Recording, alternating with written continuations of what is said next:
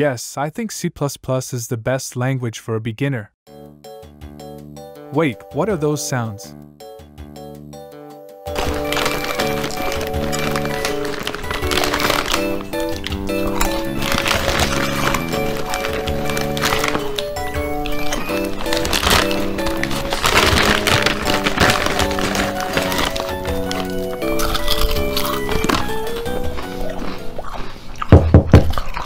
It is also a language to create application Goo goo gaga.